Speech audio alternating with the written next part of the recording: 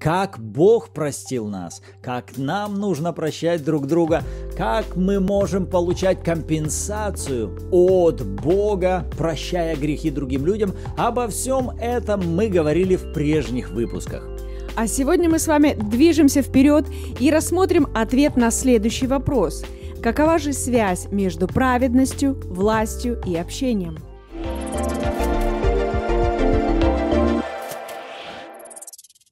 Всем привет! Добро пожаловать! Вы на канале Арим. С вами Андреевы, Руслан и Ирина.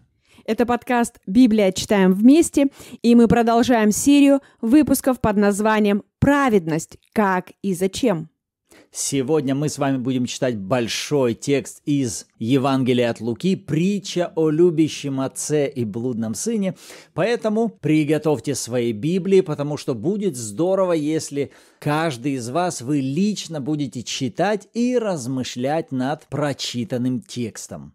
Поэтому где бы вы нас не слушали, в Ютубе, в подкастах или в проекте YouVersion, добро пожаловать! Мы рады каждому из вас – и, конечно же, перед тем, как мы начнем читать с вами Слово, давайте обратимся к Богу в молитве. Отец, во имя Иисуса, мы нуждаемся в Тебе. Святой Дух, открывай нам Писание, просвещай глаза сердца нашего, чтобы мы понимали все то, что Бог, Отец, желает сегодня говорить к нам через это Слово. Мы принимаем с благодарностью и молитвой во имя Иисуса. Аминь. Аминь. Итак, Евангелие от Луки, 15 глава, с 11 стиха. Иисус, продолжая свою проповедь, переходит к следующей притче. У некоторого человека было два сына. И сказал младший из них отцу. «Отче, дай мне следующую часть имения». И отец разделил им имение. По прошествии немногих дней младший сын, собрав все, пошел в дальнюю сторону и там расточил имение свое, живя распутно. Когда же он прожил все, настал великий голод в той стране, и он начал нуждаться. И пошел, пристал к одному из жителей страны той, а тот послал его на поля свои пасти свиней. И он рад был наполнить чрево свое рожками, которые ели свиньи но никто не давал ему. Придя же в себя, сказал, «Сколько наемников у отца моего избыточествует хлебом, а я умираю от голода.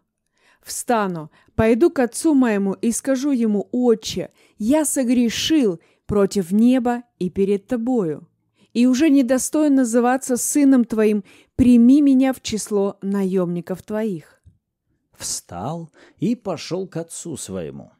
И когда он был еще далеко, увидел его отец его и сжалился, и, побежав, пал ему на шею и целовал его. Сын же сказал ему, «Отче, я согрешил против неба и перед тобою, и уже недостоин называться сыном твоим». Отец же сказал рабам своим, принесите лучшую одежду и оденьте его, и дайте перстень на руку его и обувь на ноги, и приведите откормленного теленка и закалите, станем есть и веселиться, ибо этот сын мой был мертв и ожил, пропадал и нашелся. И начали веселиться. Старший же сын его был на поле – и, возвращаясь, когда приблизился к дому, услышал пение и ликование. И, призвав одного из слуг, спросил, что это такое? Он сказал ему, «Брат твой пришел, и отец твой заколол откормленного теленка, потому что принял его здоровым». Он осердился и не хотел войти. Отец же его, выйдя, звал его. Но он сказал в ответ отцу, «Вот, я столько лет служу тебе и никогда не приступал приказания твоего. Но ты никогда не дал мне и козленка, чтобы мне повеселиться с друзьями моими. А когда этот сын твой, расточивший имение свое с блудницами, пришел, ты заколол для него откормленного теленка». Он же сказал ему, «Сын мой, ты всегда со мною, и все мое твое. а о том надо было бы радоваться и веселиться, что брат твой сей был мертв и ожил, пропадал и нашелся. Это потрясающая и глубокая притча. Здесь много важнейших истин. Но сегодня для нас важно будет выделить следующие образы, которые мы можем на ней видеть максимально ярко. Однозначно в образе Отца мы можем видеть отношение Бога. В образе младшего и старшего сына это, конечно, разные категории людей. Но не вдаваясь в детали, давайте сейчас посмотрим вначале на младшего, который уходит с имением отца и все расточает, живя распутно. В результате мы с вами видим, что он дошел, так сказать, до полного дна и, как написано, придя в себя, вот к какому выводу приходит. Он говорит в 17 стихе, «Столько наемников у моего отца избыточествуют хлебом, а я умираю от голода». Встану, пойду к отцу моему и скажу, отец, я согрешил против неба и перед тобою, недостоин называться сыном, прими меня в число наемников. И вот с таким отношением к себе и к отцу он идет назад в отчий дом. Выделим, какое сейчас у него отношение – он уже рассматривает себя в позиции недостойности вернуться в статус сына и наследника.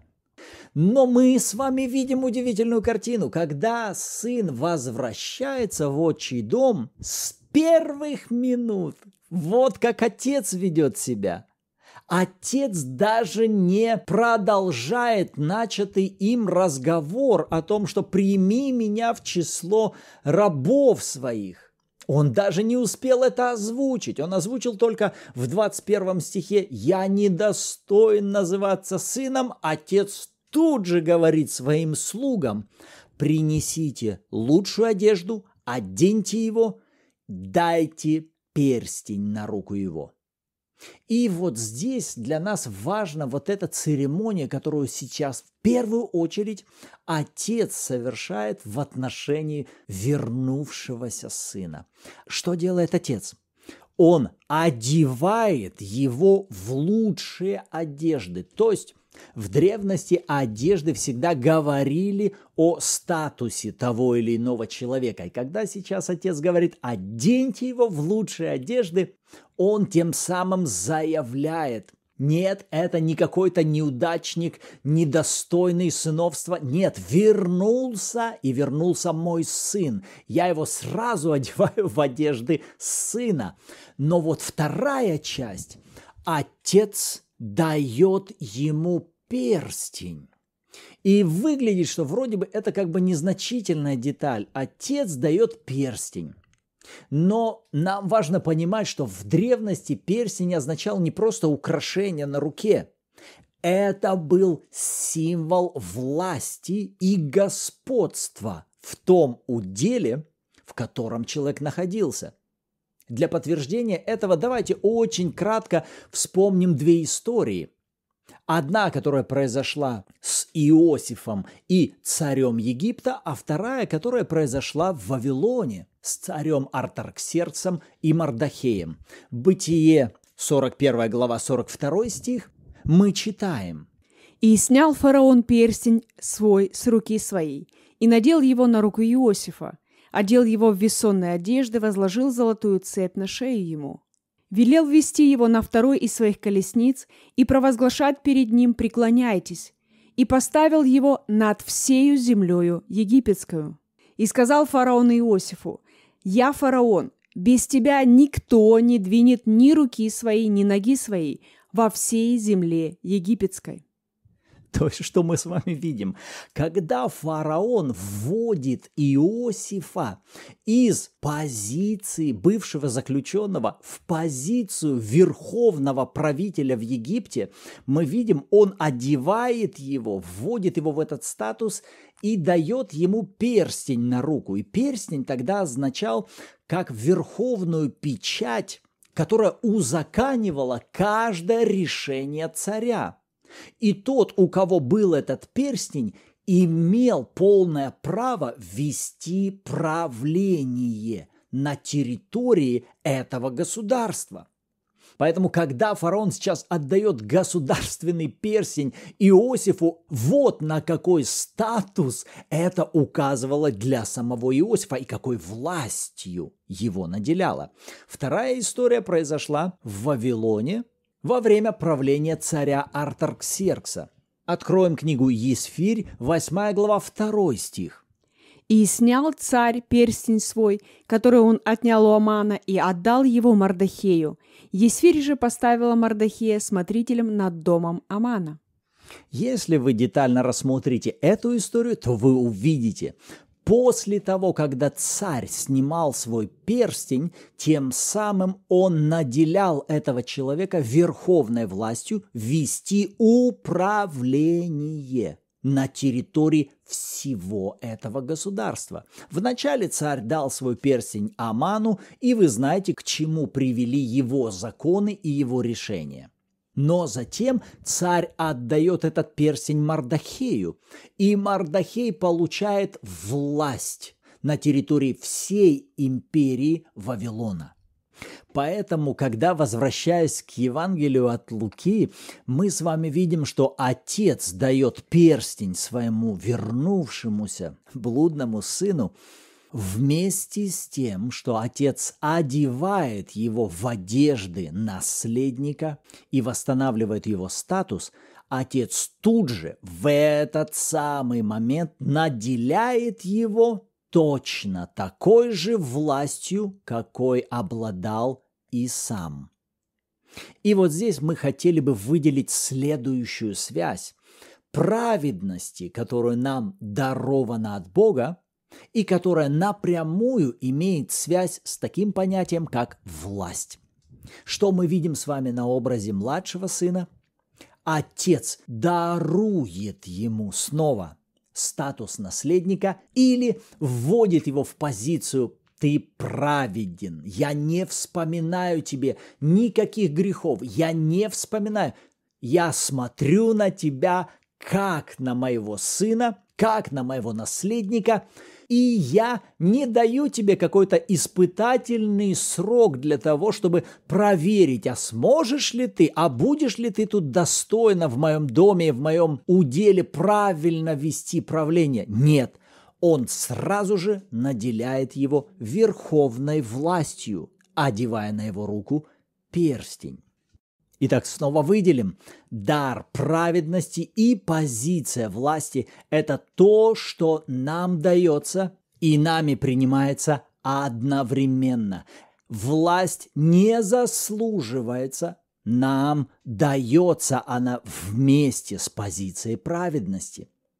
Повторюсь, мы не получаем с вами праведность, а потом своим хорошим поведением или какой-то достойностью доказываем Богу, смотри, мы можем как-то править в твоем доме. Нет, мы получаем позицию власти в тот же самый момент, когда мы получили с вами позицию праведности. Другой уже будет стоять вопрос, как мы будем возрастать в этой позиции власти, будем ли мы ею пользоваться, как мы будем ее использовать. Как мы будем возрастать в мудрости того, как применять этот перстень власти, это уже другой вопрос. Но дар праведности и дар владычествовать в системе Божьего Царства, это было подарено нам в один и тот же момент. Когда мы вернулись в отчий дом, когда мы приняли Иисуса, когда мы стали детьми Божьими – и сейчас, когда отец видит этого сына, который еще при жизни отца потребовал разделить имущество, а это было э, все равно, что значит, я буквально чуть ли не смерти тебе желаю, или мне все равно, что с тобой происходит, просто дай то, что будет мое после твоей смерти, потому что особенно в то время наследство, оно как бы разделялось после смерти отца, а сейчас еще отец живой, но сын уже забрал как бы, да, свою часть. Несмотря на все это, посмотрите, как ведет себя отец – Вообще вот ни слова упрека, никаких нравоучений. И я подумала, думаю, это я бы, наверное, сейчас устроила тут лекцию целую о том, как вот ты себя неправильно повел. Вот там ты неправильно, знаешь, говорил со мной. Вот это решение было глупое, вот это э, поведение было гордым и так далее и тому подобное. Мы бы там начали устраивать ему серьезные лекции о том, где, что, когда и как было неправильно с его стороны. Но удивительно, отец ведет себя по-другому – Вообще мы не видим и намека на осуждение, на упреки, на вспоминание каких-то прошлых ошибок. И это, друзья, говорит о позиции праведности. Когда мы в праведности перед Богом, то Отец, наш Бог, Отец, Он не занимается упреками, осуждениями, тем, чтобы вспоминать наши ошибки или напоминать нам наши промахи. Отец этим не занимается. Но посмотрите, друзья, насколько классно то, чем он занимается, когда мы с вами восстанавливаемся в позиции праведности. Посмотрите интересные пять глаголов и действий, что происходит после их встречи. 22-23 стих. Отец сказал рабам своим, первый глагол «принесите лучшую одежду». Второй глагол «оденьте его». Это он дает повеление своим рабам. И, кстати, посмотрите, то, что этот сын забрал в свое время свою часть наследства, от этого отец не стал беднее. Он не потерял своих слух или свое имение, он продолжал избыточествовать. Итак, первое – принесите, второе – оденьте, третий глагол – дайте – перстень на руку его и обувь на ноги. Четвертое – приведите откормленного теленка. И пятое – закалите, станем есть и веселиться. Посмотрите, что делает отец. Он дает повеление слугам. Несмотря на то, что было раньше с этим сыном, сейчас все по-новому, сейчас все по-другому. И да, вчера он там где-то гулял, вообще в, дру- в другой стороне, расточил все имение, делал неправильные вещи, грешил – направо и налево, но сейчас он снова мой сын. Все, меня больше ничего не интересует. И то, что вам нужно делать, посмотрите, он дал это повеление слугам. Несмотря на его вчерашние ошибки, сегодня слуги отца, они должны были служить этому сыну так же, как они служили самому отцу. Вы понимаете, и это для нас с вами прообраз того, что происходит в духовном мире, как только мы с вами восстанавливаемся в позиции праведности. Посмотрите, несмотря на то, что вчера и третьего дня мы делали какие-то неправильные вещи, но говоря о позиции праведности, то у нас с вами есть ангелы, суть служебные духи, которых Отец дал нам, чтобы они служили нам. То есть буквально это их задача приносить нам обеспечение от Отца – то есть они продолжают нам с вами служить, независимо от того, что мы где-то вчера ну, натворили что-то не то. Говоря о праведности, о даре праведности, это напрямую взаимосвязано с тем, что мы имеем власть в духовном мире, и у нас есть ангелы, служебные духи, которые поставлены Отцом, чтобы нам служить. Но давайте вернемся снова к вот этому сочетанию. Праведность и власть. Сейчас мы с вами видим, что вроде бы этому сыну вернулась и позиция «ты наследник я не вменяю тебе того, что ты прежде сделал, ты оправдан, я даю тебе власть, вот власть, но теперь как бы некое искушение. Ой, ты смотри, он теперь наделен властью, так что теперь он может творить все, что угодно. С одной стороны, да, он наделен полной властью управлять. Но вы помните, с каким мышлением вернулся младший сын? И вот тут мы также можем вспомнить и о старшем сыне, и о его образе мышления, и его позиции. И даже задаваясь вопросом, а как вы думаете, а старший сын был наделен такой же властью управлять, вести правление, владычествовать на территории имущества отца. И как вы думаете, был ли у старшего сына перстень на его руке, означающий власть на данной территории? И пока вы думаете, мы выскажем вам нашу версию, которая опирается на слова отца, когда он говорит в ответ старшему сыну в 31 стихе «Сын, все мое твое. То есть от начала, как только я разделил вам имение, это все твоя собственность. Но ты об этом так не думаешь, ты себя так не рассматриваешь. Ты не ведешь здесь правление. А как вел себя старший сын в этом уделе? Я безукоризненно исполняю все, что ты говоришь мне. Я не приступаю твоих повелений. Смотрите, у него есть власть, у него есть позиция, но он не использует эту власть а больше занимает позицию «я жду, пока отец мне что-нибудь даст», а потом упрекает «ты мне даже и козленка не дал повеселиться с друзьями». Вот какое мышление было у старшего. У младшего была другая крайность мышления. Я недостоин. Я помню, как я все расточил. Я помню, как я стал причиной полного разорения того наследия, которое у меня было. Как же я могу сейчас осмелиться здесь чем-то править? И как первый образ мышления нужно было менять, так и второй образ мышления нуждался в исправлении. Но теперь вернемся. А как правильно нужно было хоть старшему, хоть младшему сыну использовать свой перстень власти и вести правление в этом уделе – только через третью составную, через общение с Отцом. Почему?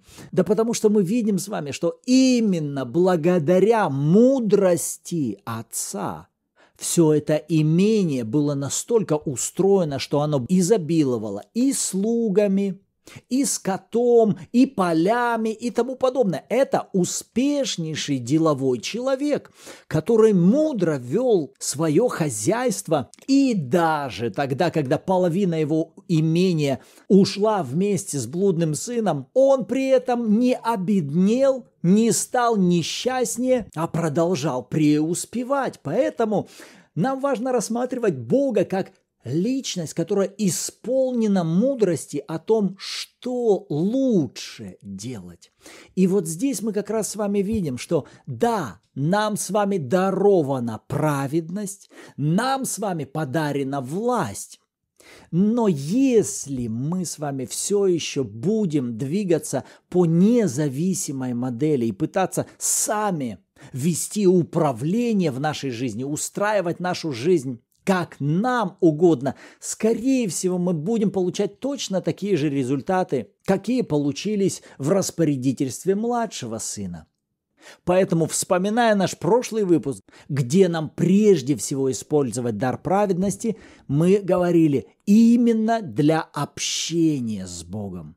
На этой притче мы как раз с вами и видим важность соединения вот этих трех составных. Дар праведности, власть и общение. Вот эти три ключевые составные, они должны взаимодействовать вместе друг с другом. Дарована ли нам праведность? Да. Подарена ли нам власть управлять в Царстве Божьем? Да. Как нам это делать? Через общение с Отцом. Вот та идеальная модель, в которую Бог даровал нам право войти. И весь последующий вопрос будет стоять только в том, какой опыт мы с вами приобретаем, используя все эти три составные. Вот наше размышление вокруг этих вопросов сегодня. Что думаете об этом вы? Пишите нам в комментариях или добро пожаловать в чат Bible в Telegram, где мы обсуждаем текущие выпуски недели и рассматриваем ответы на вопросы по этим стихам. Добро пожаловать! Все ссылки вы найдете в описании, либо в шапке профиля. А на сегодня нам пора заканчивать. Давайте поблагодарим Господа в молитве.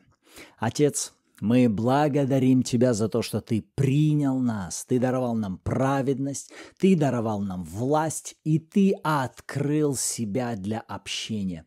И мы нуждаемся, и мы желаем, мы жаждем того, чтобы возрастать в правлении в Твоем Царстве вместе с Тобою, обращаясь к Твоей мудрости и понимая, что, когда и как нам нужно делать. Во имя Иисуса. Аминь. Аминь. И напоминаю вам, друзья, что во Христе вы уже возлюблены и праведны. Услышимся в следующем выпуске.